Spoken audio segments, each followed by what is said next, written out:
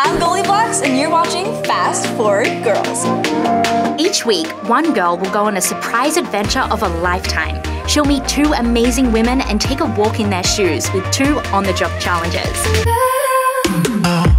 One of these women will become her mentor for life, but she's going to have to choose. Meet Alicia. She'll learn new stuff and make fast friends.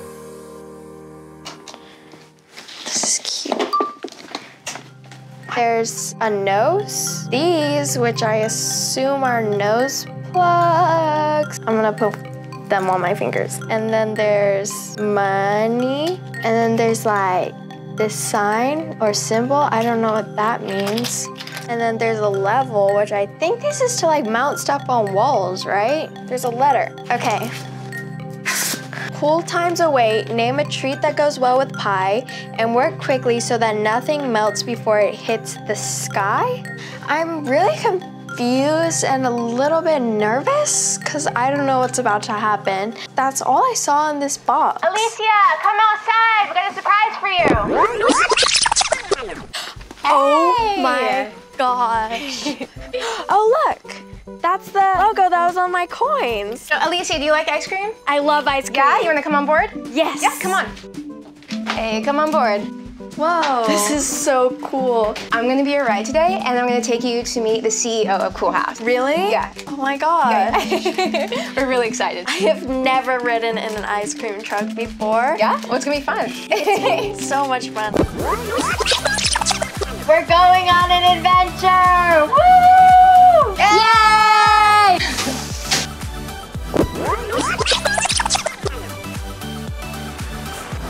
Hello. I'm Natasha Case. I'm the CEO and co-founder of Coolhaus Ice Cream. Why don't we go inside and check out what ice cream we've got today? Okay. Come with me. There's many delicious things to try. Can I It's try really matcha? fantastic. Yeah, absolutely. Matcha has so many natural things like uh, chlorophyll naturally occurring in it, vitamin C. That's so good. Thank you. Thank you. It's so cold. It's in really here. cold. I'm done. How Let's get out of cold here. is it? Negative 10. Okay, let's go. Yeah, yeah. So it's pretty cold in there. We need that to keep the quality of our ice cream really high. Higher quality the ice cream, the slower it is to melt. So we're actually okay at negative 10, negative 5, even serving it around zero degrees is optimal. And then anything beyond that is when you start to get into issues. How long can ice cream last if it's freezing? If you keep ice cream at like negative 20 degrees, you could actually have it for a decade, if not more. a decade. Yeah, if you're keeping ice cream around for a decade though, something's wrong with you. Yeah. We do have a freezer named Ellen. I love her. Freezers on this side typically are where we'd store something that's in R&D and development, something Oh, that we're experimenting with, that we're more tasting and refining. Ellen and Oprah hold all the secrets. Yes, Of course. It's kind of true. You've gotten the grand tour of Coolhaus. Now we're gonna build an ice cream sandwich tower. We are. Yeah.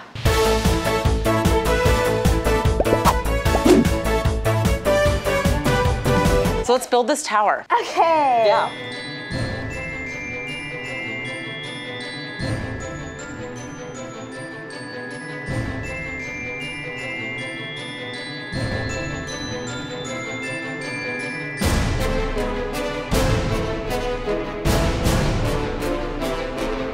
I'm There we go. so much melted ice cream There we on my go. hands. I know, welcome to my life.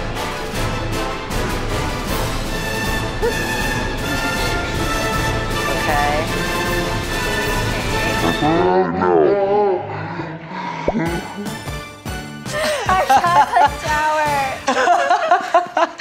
just eating your feelings.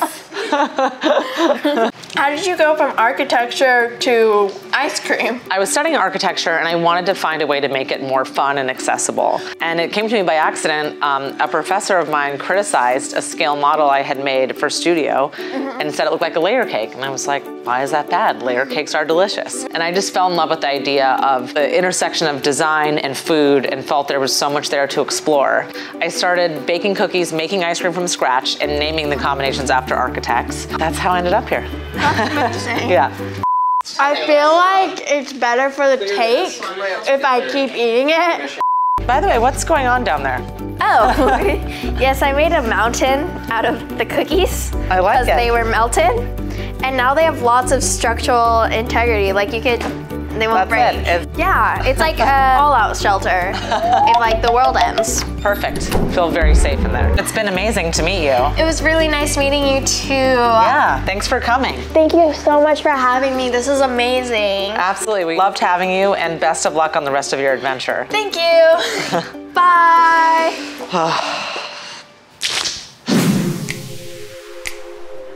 Hi. Hey, I'm Rebecca. So nice I'm to meet Alicia. Nice to meet you.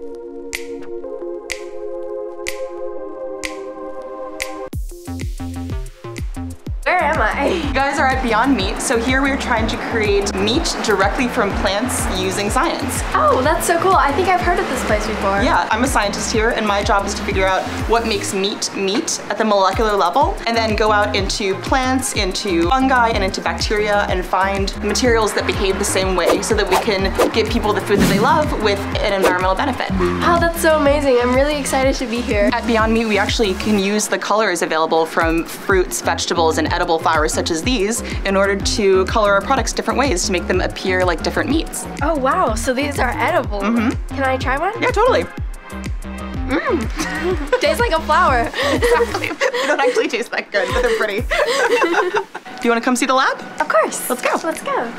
Come on in. Thank you.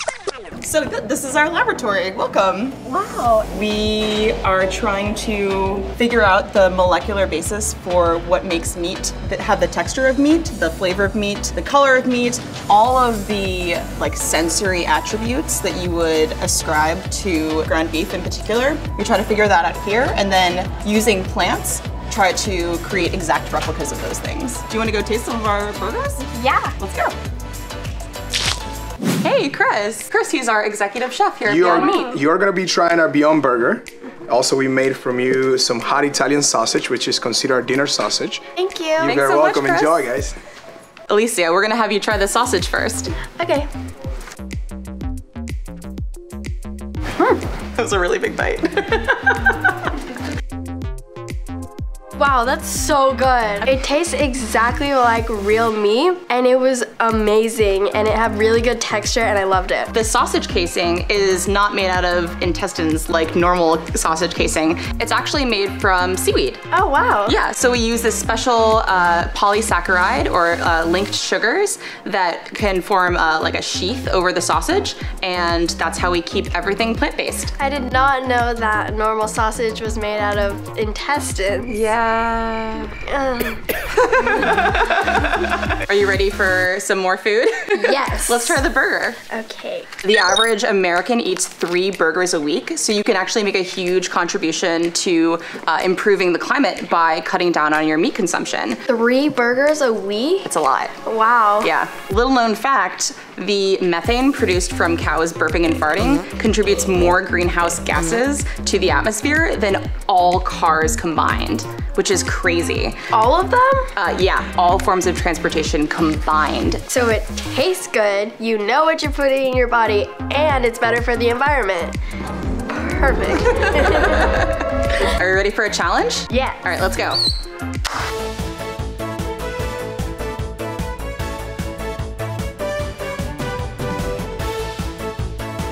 You look, you look properly suited up. Okay, are you ready? Yeah. All right, let's do this. You can uh, feel for your first burger. Beef. Okay.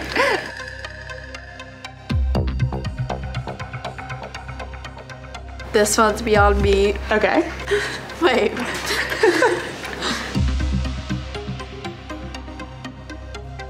Half vegetable. Half beef. Final answer. All right. Great job. Did I get any of them right? So those are really good guesses, but unfortunately not.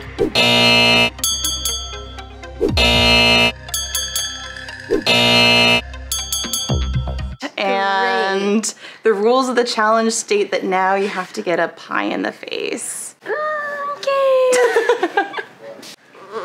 My hair looks too good for this. I know, I'm so sorry.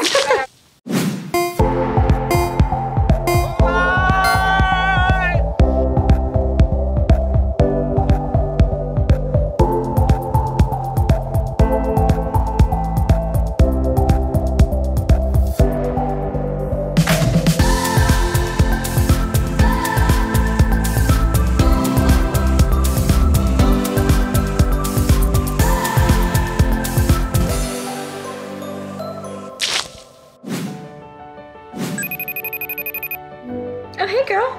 Hi! So I just went on an adventure and basically I met with two scientists and one of them worked with vegan meat and the other one worked with ice cream and ice cream sandwiches.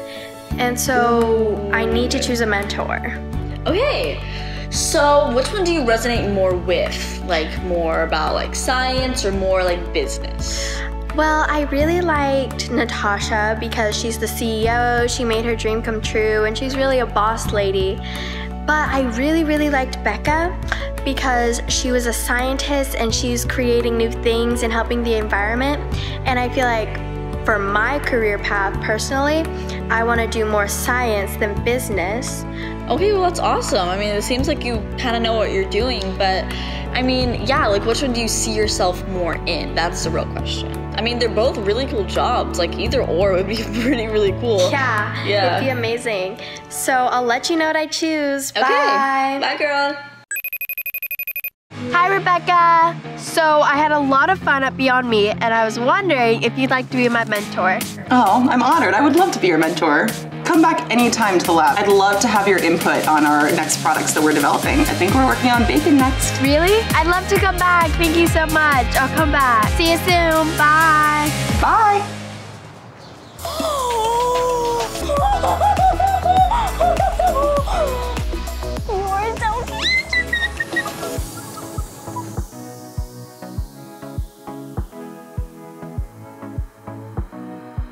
My name's Haley.